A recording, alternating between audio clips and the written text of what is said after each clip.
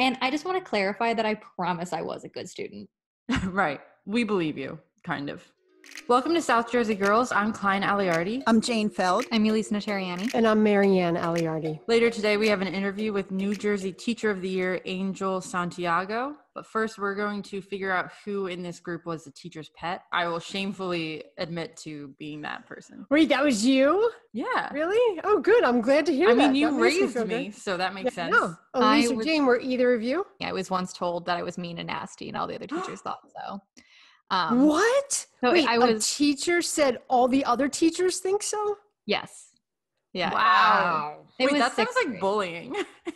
Yeah. And for me, I think that I like I I just was a late bloomer probably. Like I didn't yeah.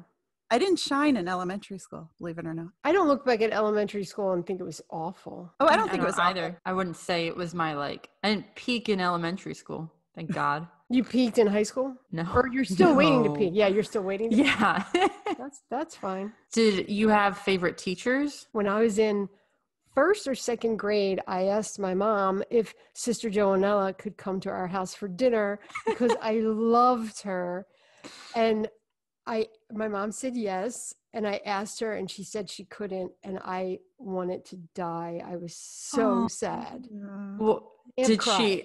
Was she actually not able to make it, or did she? Was I have she no just like, idea. I don't want to deal with this. I mean, to clarify, you're saying nun and sister because you went to Catholic school, right? Yes, I did. Oh, yes, And I you did. have. None of my children did. If that tells you the kind of experience I had at Catholic school. My dad went to Catholic school too, and most of us didn't because he was politely asked not to return one year. So, Really? yeah. What do you do? I get different stories. Um, the one he sticks with is that he failed Latin, and so he took Latin over summer school and then passed it, and they still asked him not to return, so he just chose not to. Um, Oh. I don't know what the real story is still, Yeah, yeah. but we were all public school kids. You know, so yeah, I was a public school kid Yeah. in at Cherry Hill and I remember being really excited to have the two male teachers in the school just because it was such a change, the fourth grade teacher and the fifth grade teacher. You only had two male teachers in your school. That is not unusual at all. In my grade school, we had one. And in my high school, I can only think of one, but no, there may have been two. In my high school, we had a bunch. Yeah, I think Yeah. we yeah, had but high probably school's five. different though. Like in elementary school, you don't find a lot of Yeah. male teachers. Oh, I only fair. had one in elementary school. Hmm. That's fair. My parents were not involved at all in my education. Like I don't think my mom knew there was a PTA. I think you there used to be a wall, like you weren't friends with your teachers, but like they're my Facebook friends now too. And Yeah, I will say when they were in grade school, I wasn't involved in their education. I didn't feel that that was my responsibility to be involved in their schoolwork. That was on them. But I was involved in their school. I was around a lot. I was like room mom and on different committees. We were very involved in the school. Um, but, and I loved, you had so many teachers, Klein, who were just lovely, caring. Yeah, I remember that. Yeah. Like I also I remember that at, at the end of every year, our gift to every single one of our teachers was a bottle of wine and a pie. Mm-hmm. Yep. And I'm now thinking that that had a large effect on me as a person because Why? What do you mean? that's a great gift. I remember the one thing I remember the greatest thing I- I ever saw a teacher do was Mrs. Martino. When you would, this is second grade, when the class was dismissed, she stood at the door and she hugged each kid before they left. And it was just so nice. Of course, you can't do that now. I was just gonna say. Them, but it was just there. That's how I see see your teachers. They were just really sweet.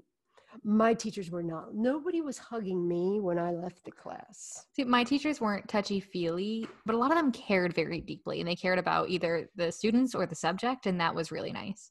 How Mm. did you know that? Um, for the ones who cared about the students, they just were really involved in asking us, you know, how we're doing, how we feel, noticing things. And some were just so excited to be talking about whatever the subject was. Like I, I Ah. remember having, um, you know, science teachers who would just be bouncing off the walls to talk about rocks, which is why I love geology. Oh, yeah. I remember one time, Klein, I don't even know if you know this about me. Did you know I used to teach English in a business school? Did you know that? No. yeah, I just for a for a year. when I don't before I had kids. Uh, it was a business school, so nobody really cared about what I was teaching. I was uh, I taught grammar, and I remember that I had a cl- I was teaching a class on commas. And we I know how much you hate the Oxford comma. Yes, I do. I There's love no that. need Pass that on the to her daughter. comma. Yes, thank you.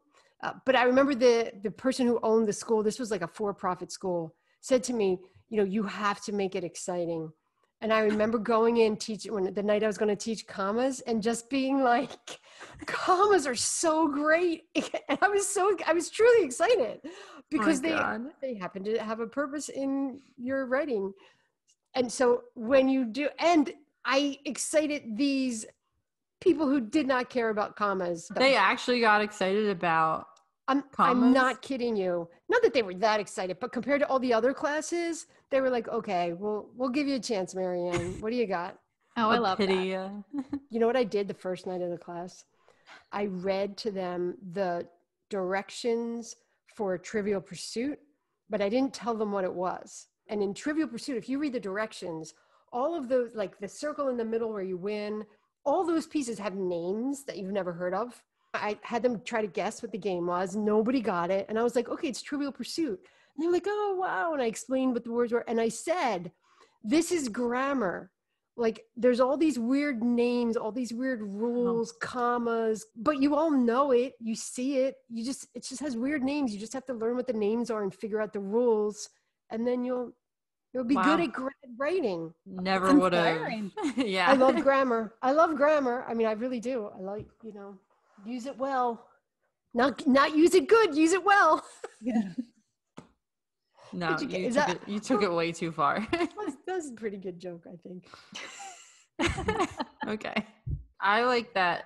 Mi- like teaching mindfulness is a thing now. We did a story not not that long ago about it. Wasn't a teacher doing yoga with her kids, her students, Yeah. and all? Yeah. It's making me sad right now because my kids are just in remote school right now. Jane, you could do yoga with them, you know. Oh, I would if they would do it with me.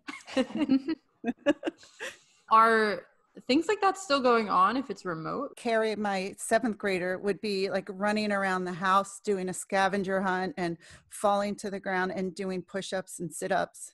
And Wow, he said that was gym class. So Can I Yeah, join that's- that? Because that's it a sounds yeah, like a that's a creative a creative teacher. Are any of your kids doing any interesting classes? Because I know me at, at public school, we had all these really great electives that we could take. So I took a lot of woodworking classes and I tried to take auto shop, but they told me that I would smell like gas all day. So they put me in, I'm not kidding, cooking instead. I knew you would oh, take. It's, and I didn't end up taking it anyway because that's my schedule got changed when I went to that Spanish class at the U. Just to show my love of learning, I have signed up now for mm. a Spanish class that I've been taking once a week. Well, let me know if you need any help. I didn't know that you spoke Spanish, or I Yes. would have had you speaking with me. Thank Mine, you. I slipping a bit, but it's still there. One of the benefits of having children learning a language is we are talking French now. But I will I will join your Spanish, but it will probably sound like Franish. I'll come in. I'll call in for the French. I'm uh, Oh, brushing up on Rosetta Stone. I'm doing um, Italian and Rosetta Stone. Yeah. Not going well. See, Last- Last year we had um, a French exchange student stay with us for a week. Oh wow! wonderful Nicholas. Who oh, I loved him. Like I, I was thinking maybe I would have one of my other kids go back to France and I could just keep him. I'm here talking with Angel Santiago, New Jersey's Teacher of the Year. How is that feeling? Are you freaking out? Well, I, it, it's been a, quite a while since October 7th, since uh, Yeah. we figured out. So, uh, but I've been, you know, inching closer and closer to the reality of it. Uh, in less than a month, I'll be starting my sabbatical. But I mean, initially, it was surreal. I mean, it's still surreal. Don't get me wrong. As Teacher of the Year, what exactly does the next year look like? Do you know much about what's coming up? Uh, so I, I've been working with uh, New Jersey Department of Education, uh, setting up meetings for several different departments. Some of them are related to my platform, and some of them are just general departments that I think every teacher should have some knowledge about, um, and just being kind of a, a teacher's voice with, with the decision making with the Department of Education for the year 2021. And you talked about a platform. Are there specific things that maybe when you talk to people either in education or maybe outside of education, things you think people should know think a lot of people in the general public in, in general they, they are surprised that as as diverse and progressive as New Jersey is, we still only have 16% of our teacher population are teachers of color. And when you talk about men of color, we're even going down even further. Um, there is a lot of work to be done, and so that's one of the departments I'll get to work with is recruitment. And you know, they could see my voice, they can hear my voice as being a teacher of color in the state of New Jersey. And once we can make some progress on that, when we talk about equity and just having people who look like our student population inside the classroom, so it will do wonders just for all students in general. Because I do think it's important for you know all students, regardless of race and ethnicity, to have uh, different mo- role models from different cultures. There's a common thing that I like to say is that you know we can find heroes in every culture. We just have to be exposed to them, and and that's something that I think is extremely important. And and, and not only the teaching profession, but other public service professions as well. Yeah, absolutely. That it's it's amazing how simple of an idea that sounds to be, but it's such a powerful message. When did you have your moment where you thought, "No, this is something I could do," even if you didn't see people who looked like you in this profession all the time? I kind of fell in love with the profession because I fell in love with the teachers that taught me. You know, I, I wanted to be a teacher probably from high school. The teachers who brought me along in the Violent Public School District, um, I think they had a lot of teachers that were in tune and kind of beyond their years when it comes to equity and whatnot before equity was a buzzword. Teachers like Mark Malamed who who knew that if I could get kids from all different ethnicities to work together for a common goal, that's going to be something that sticks with them for the rest of their life. And then other teachers of that same district were were kind of you know plugging in and filling in the holes of and any anything that would economically hold me back or anything that would you know socially hold me back because i did have a, a mom that was you know working all the time and sometimes it was difficult for her to get me certain places. And those and those teachers made made sure that that I would either get somewhere or had something. And then in college I kind of had a professor who was you know just told me the implications like of being a male role model in elementary education. And then on top of that a male role model of color in elementary education. Uh, her name was dr bender dr donna bender and she kind of flipped the whole script and, and told me that I had a story that I had to tell my kids, that it was almost like a calling, you know, that it was more than just a job and more than just teaching it was you have you have the potential to affect people on another like social economic level. Absolutely. And, and that i feel like that's so obvious now what what is your because you're still teaching for the time being for a little mm-hmm. bit longer right absolutely um, Gloucester Township. Are you going into school to teach them or is it mostly online? So it, it's changing by the day. Uh, it's a Camden County. And so um, I've been teaching um, just remote students from September. Although our school district was a hybrid school district, we did have a lot of parents and a lot of students that opted to be taught in a remote setting. I, I did pretty well last year. I, I kept a consistent schedule when it came to remote teaching and remote mm-hmm. learning. And so I felt like that would play well this year. Um, and so I opted to just take the remote students. And this was well before I even knew I was, you know, teacher of the year. So I kind of mm-hmm. had a plan anyway in summer. So mm-hmm. I asked to just stay on remote. Obviously, I have the the technology to do things that other teachers can't do. Yeah, I so, do. Um, I want to just interrupt you for one second because people are listening to this and can't see you, but you have like a full on mic, like recording mic. You look like you're in a recording studio, and I am so impressed with your technology. It's fantastic. Your kids must love this. Yeah, they think I'm a YouTube star. I tell them, yeah, yeah. subscribe to my YouTube channel. yeah. but uh, but no, like uh, well, I was teaching for in school for a while, so I didn't actually bring the microphone with me, but I still right. had the headphone. In school, I have access to different screens, so I had my whiteboard going yeah. with them on the whiteboard, and I had another screen over here. I thought we were getting better every day at it. I thought I was getting better. I know a lot of teachers were frustrated, but I obviously they're they were learning uh, on the job training as we went mm-hmm. along. So I felt as a whole we did an amazing job. And uh, although I, I, I do I do long for the days I can see my kids in person and and you know just give a high five or a you know a handshake or a hug. Um, I do think that there are a lot of things I'm going to be taking from this. You know how to you know streamline a lot of things so uh, that I don't have to spend hours and hours doing uh, mundane paperwork anymore. Right. Um, but you know we do we do miss our kids. So anyway, I taught in the classroom for a while using remote, And then last week we were asked to go fully remote and only come into the building if we if we truly needed to come in just to keep everyone safe. On any given day, I'll teach from the school or I'll come and teach from home. But at home, I just have access to a soundboard and things that. Oh man, know, that sounds like a teacher's dream. Honestly. Yeah, yeah. you sound like you get very creative in these lessons, and the more that I see online from teachers who do some of these lessons, the more that I'm just blown away. I mean, I know not every teacher is going to be on have the same style of teaching, but do you find that at least for you, creativity plays a really large part in you trying to kind of capture these kids' attention? Absolutely, but I, you know, I want to say maybe this whole pandemic situation and teaching online is a new thing for us, but that creativity aspect, that's an every year thing for us. I mean, we always had to adapt and be creative because there is no perfect curriculum there is no perfect you know uh stand there are no perfect standards we always have to be uh, adaptive and creative and uh, and and willing to re- reinvent the wheel at points. So, and as much as you think I might be creative, I've been borrowing a lot of things from other people who have been. I, have been researching a lot of other teachers with the Nearpod and and and and Jamboards. I've seen other teachers do some amazing things that I will continue to use past this year. And I, am not taking any credit for anyone, anything that I haven't come up with. I've really been, you know, borrowing and stealing from my from my uh, colleagues. And and speaking of, you know, teaching those kids, do you have any tips? It could be big, it could be small, for parents who, you know, now have their kids at home for such a long period of time. Maybe they're not so used to it. Maybe they're trying to help out teaching them as well. Do you have any tips for for them? Absolutely. First, I got to I got to really kind of throw a big thank you to the parents because uh, let's be honest, they didn't go to school to become teachers, and they're kind of doing it on the fly themselves. But with the parents, I just have to say, you know, communication is key, just like any other year, but more so this year. Just ask questions that need to be asked. There is no silly question. In, in my personal aspect, I just need my students to be present. If they can be present, then I can take care of the rest. And if uh, if, if, if we have any questions at any time, just just just contact your teacher.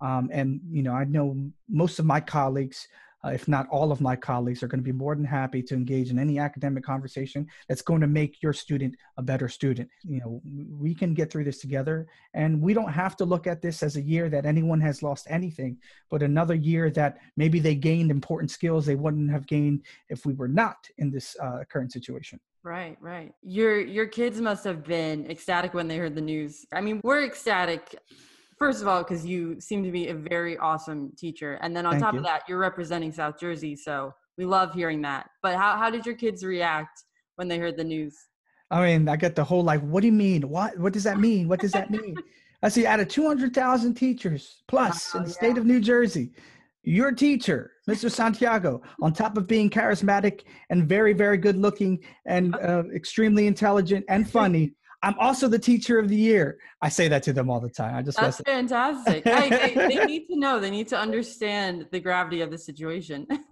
and so they're like, "Oh my gosh!" Now he gets another thing to boast and brag about. so I use it at, at every moment that I can in my pedagogy. And I'm like, "Well, why do I need to do this? Because the teacher of the year told you to do so." Uh, Good point. so no, and you know, it's something I get to joke around with them with, but they're really proud of me. I mean, even students that have, uh, uh, they used a video of students that I had prior, um, and just to see that they were, they took time out of their day mm. to send a video about why they cared about me, why they, you know, why they thought I should be the teacher of the year. Um, that hits the heartstrings.